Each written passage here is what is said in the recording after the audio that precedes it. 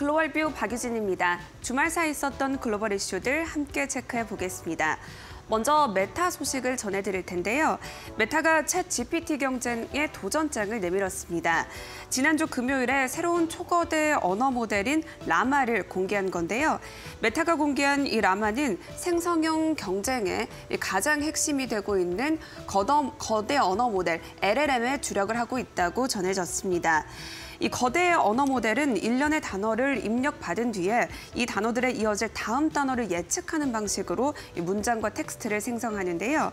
메타 CEO인 마크 저커버그는 이 거더, 거대 언어 모델이 대화나 문서 요약을 하는 것은 물론이고 수학 공식을 풀거나 단백질 구조를 예측하는 것처럼 복잡한 작업까지도 가능하다 이렇게 설명했습니다. 그리고 메타는 이러한 연구에 주력하고 있다는 설명을 덧붙였는데요.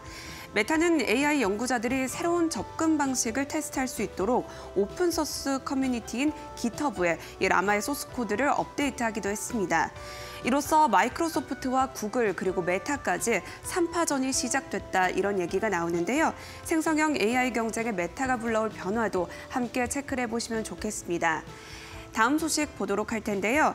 이렇게 AI 시장의 열기가 나날이 뜨거워지는 가운데 모건 스탠리는 AI 경쟁에서 수혜를 볼 수 있는 기업 세 곳을 소개했습니다. 함께 살펴보도록 할 텐데요. 먼저 애플입니다. 최대 수혜주로 선정을 했는데 이 애플은 A 시리즈와 M 시리즈 등 뛰어난 역량을 가진 자체 반도체를 개발하고 있습니다. 그런데 AI에는 대용량 반도체가 필요하기 때문에 해당 기술이 또 부각이 될 것이다 이런 의견이었는데요. 독보적 인 하드웨어 선도주자가 될 것이라고 전망했습니다. 다음은 IBM입니다. IBM은 최근 몇 년간 AI를 활용해서 기업 자동화 공정 그리고 가상 지원 서비스 등을 제공하고 있는데요. 따라서 AI의 자체 소프트웨어를 접목하는 방식으로 이 보안과 자동화 분야에서 독, 어, 특화적인 모습을 보일 것이다. 이렇게 이야기를 했습니다. 마지막으로는 델 테크놀로지를 언급했는데요. 장기적인 관점에서 제시한 종목입니다. AI와 관련한 CPU 부문이 성장을 하게 되면 잠재적으로 수혜를 볼 가능성이 높다 이런 이야기를 했는데 이렇게 AI 기업들뿐만 아니라 수혜를 볼 수 있는 업종들도 함께 고려를 해보시면 좋겠습니다.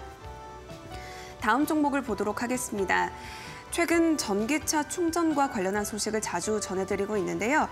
이번에는 UBS가 전기차 충전 시장에 대한 낙관적인 전망을 제시했습니다. 전기차 수요가 계속해서 높아지는 반면에 전기차 충전 인프라는 여전히 부족한 상황인데요. UBS는 탈탄소 그리고 신재생 에너지에 대한 정부 지원도 늘고 있어서 전기차 수요는 더 증가할 것이라고 이야기했습니다. 그러면서 바이든 행정부의 목표대로 2030년까지 총 500만 대의 충전소를 설치하기 위해서는 매년 최소 5만 대의 충전소가 설치되어야 한다 이렇게 설명했는데요. 결과적으로는 충전 인프라 인프라에 대한 대대적인 투자로 이어지게 될 것이다. 이런 분석이었습니다.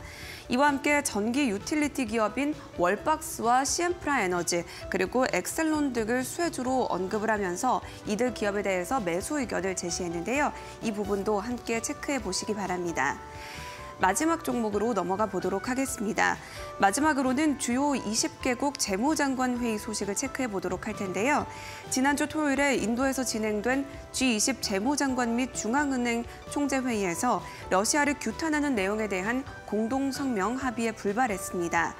외신 보도에 따르면 서방 국가들은 러시아의 우크라이나 침공을 전쟁으로 규정을 하고 있는 반면에 러시아와 중국은 이 의견에 대해서 반발을 했다고 하는데요. 전쟁이나 어, 침략이 아니라 특별 군사 작전이다 이런 입장을 내세웠다고 합니다. 이런 가운데 CNN 방송은 중국이 러시아에 대해서 드론과 탄약을 제공하는 안건을 검토 중이라고 밝혔는데요. 이미 가격 협상 단계에 이르렀다 이렇게 보도를 했습니다.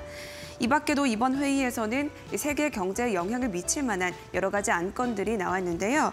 옐런 미국 재무장관은 인플레이션은 여전히 문제다 이렇게 이야기하면서 금리 인상은 시기상조다 이런 의견을 내비쳤고요. 또 IMF를 중심으로는 암호화폐에 대한 규제가 필요하다 이런 논의도 함께 진행이 됐다고 합니다. 해당 이슈들도 체크를 해보시면 좋겠습니다. 지금까지 글로벌 뷰 박유진이었습니다.